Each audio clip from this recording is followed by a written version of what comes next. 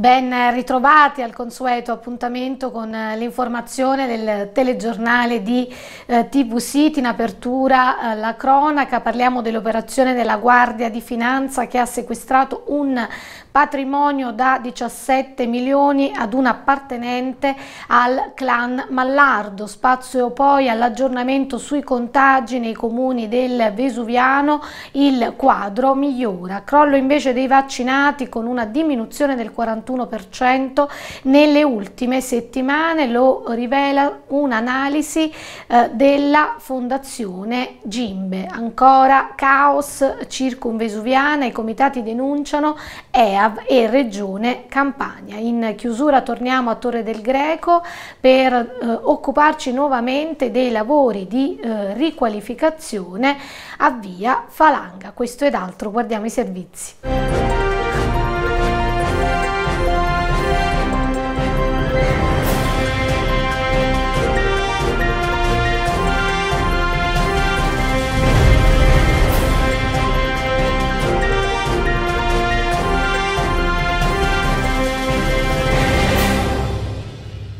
Nucleo di polizia economico-finanziaria della Guardia di Finanza di Napoli ha proceduto su disposizione della sezione misure di prevenzione del Tribunale di Napoli alla confisca tra Campania e Lazio di un ingente patrimonio del valore di 17 milioni di euro riconducibile a Michele Palumbo, nato a Villaricca nel 1952, appartenente a Clan Mallardo. Le Fiamme Gialle hanno acquisito al patrimonio dello Stato 17 unità abitative tra i comuni di Giuliano, Aversa, Mentana e Monterotondo, 11 terreni nel comune di Mentana, oltre a quote e immobili relativi a una società operante nel settore immobiliare con sede a Fonte Nuova, riconducibile al prevenuto e al suo nucleo familiare. L'attività trae origine da indagini delegate dalla Direzione Distrettuale Antimafia di Napoli ed eseguite dagli specialisti del GICO partenopeo che hanno eseguito nel periodo tra il 2010 e il 2021 diversi provvedimenti di sequestro preventivo e di misure di prevenzione patrimoniale disposti dai tribunali di Roma e Napoli nei confronti tra gli altri del Palumbo.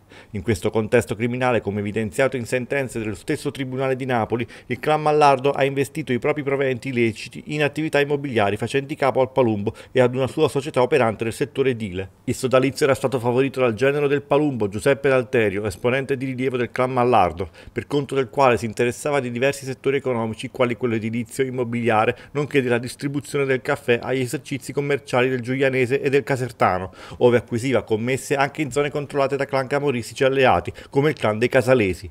Il presupposto per l'applicazione dell'odierna misura di prevenzione patrimoniale deriva dall'accertata appartenenza del Palumba al clan Mallardo, sancita da una condanna a 12 anni di reclusione per concorso esterno in associazione mafiosa e scaturisce dagli accertamenti economico-patrimoniali effettuati dalle Fiamme Gialle.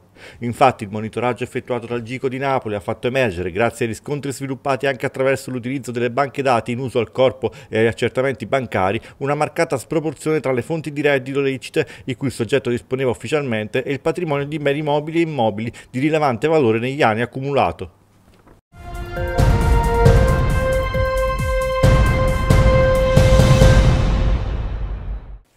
Calano i numeri dei contagi nei comuni vesuviani. Nel comune di Torre del Greco, secondo l'ultimo bollettino, si sono registrate 8 nuove guarigioni, certificati invece due casi di positività. Continua a mutare dunque il bilancio dei contagiati con 82 attualmente positivi, di cui 10 ospedalizzati. Anche nel comune di Bosco Reale si è registrato un miglioramento dei dati precisamente nel periodo del 15 al 19 settembre. Gli attuali positivi sono diminuiti a 47, precedentemente erano 77, mentre non si sono registrati nuovi decessi. In tale periodo sono stati effettuati complessivamente 222 tamponi, di cui 215 negativi e 7 positivi con un indice tamponi effettuati positivi del 3,15%. Per quanto riguarda la campagna vaccinale sono state somministrate complessivamente 16.550 prime dosi di vaccino, 61% della popolazione, mentre 13.463, 49%, hanno completato il ciclo vaccinale con doppia dose.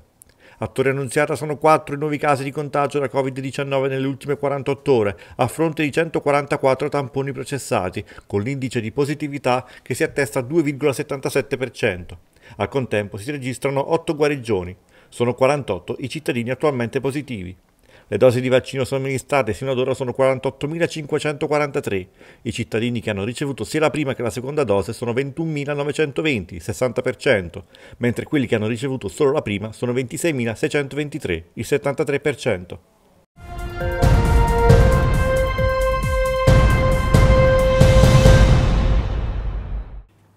Crollo dei nuovi vaccinati con una riduzione del 41% nelle ultime due settimane. Sono infatti poco più di 486.000 le prime dosi effettuate dal 15 al 21 settembre, a fronte di scorte che superano le 10 milioni di dosi. I più scettici restano gli over 50, a rilento anche le vaccinazioni nella fascia 12-19 anni. Lo rivela, secondo fonti ANSA, il nuovo monitoraggio della Fondazione Gimbe, fondazione che ha lo scopo di favorire la diffusione e l'applicazione delle migliori evidenze scientifiche con attività indipendenti di ricerca, formazione e informazione scientifica, al fine di migliorare la salute delle persone e di contribuire alla sostenibilità di un servizio sanitario pubblico equo e universalistico. Intanto si registra un nuovo calo di casi di Covid-19, segnando meno 14,9% in una settimana, così come c'è un'ulteriore riduzione di ricoveri e terapie intensive. Stabili decessi pari a 394 in una settimana, di cui 33 riferiti a periodi precedenti, sempre secondo l'analisi della Fondazione Gimbe relativo al periodo 15-21 settembre, che ribadisce però preoccupazioni per la ripresa del nuovo anno scolastico, considerato che con la variante Delta le attuali misure risultano insufficienti a limitare i contagi.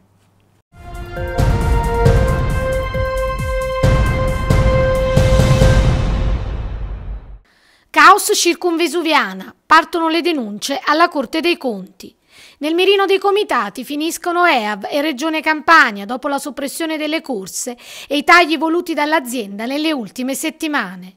L'obiettivo è quello di accertare se EAV e Regione Campania abbiano utilizzato razionalmente le risorse economiche destinate al servizio del trasporto pubblico della circumvesuviana. Un'azione che arriva dopo anni di lotta, di denunce pubbliche, di promesse mai mantenute, di disservizi e di annunci di migliorie subito smentiti e di miracoli mai avverati. E la voce dei comitati, di attese infinite di nuovi treni, di assistere ad assunzioni che hanno riguardato in gran parte figure professionali di quadri o amministrativi, lasciando vuoti in organico, di subire l'allungamento dei tempi di percorrenza, colpa di una rete ferroviaria obsoleta, di avere un'offerta di servizio pubblico che non prevede corse di mattina presto e più tardi la sera. Di scelte aziendali approssimative, cause di continui disagi e precarietà del servizio, di vedere i vari responsabili di questi continui fallimenti continuare a ricoprire gli stessi incarichi. In assenza di risposte convincenti e di fronte a risultati sterili prodotti dall'azione politica in tutti questi anni, il gruppo Pendolari, no al taglio dei treni della circonvesuviana, insieme al comitato civico Cifariello Ollus di Ottaviano, nell'intento di far luce sulla gestione di miliardi di euro di risorse pubbliche, denunciano alla Corte dei Conti EAV e Regione Campania.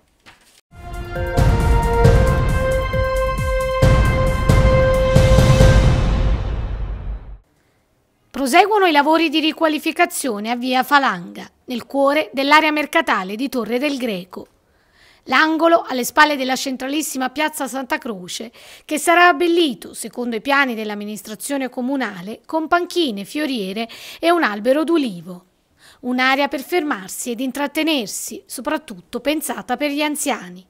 Gli interventi, partiti a luglio, proseguono in queste settimane, senza arrecare disagio ai commercianti della zona e agli abituali frequentatori dell'area. I lavori in particolare prevedono la riqualificazione del manto stradale, le fognature ed elementi di arredo urbano. Prevista anche l'installazione di dissuasori e telecamere di videosorveglianza per garantire la sicurezza in piazzetta. Interventi che step by step con lavori in corso nelle prime ore pomeridiane, dovrebbero terminare alla fine del mese di settembre.